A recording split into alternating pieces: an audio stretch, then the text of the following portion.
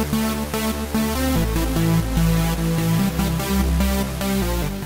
and gentlemen, welcome to the first episode of Tech with Matt and Christian, I guess. Hi, I'm Christian, Matt's behind the camera. We got this thing. First demo, I guess, unboxing, unzipping this thing, which I've kind of already done already.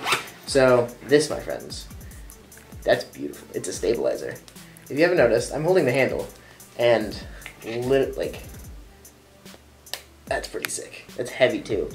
So, that is pretty nice. It's, how much was this? I believe it was like maybe around uh, 60 bucks. 60 bucks. We spent 60 bucks on you guys so that you guys could watch stuff easier with a walk around things. With less movements like this. Yeah, no. So, that's pretty sick. W without stabilizer, this is the movement when I move around. Let's try it with stabilizer.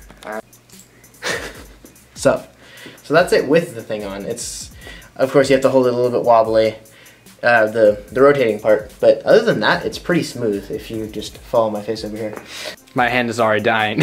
you can feel it there.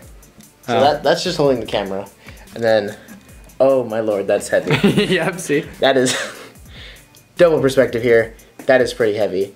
Um, but that was a full rotate. I just walked around the camera, and not that bad.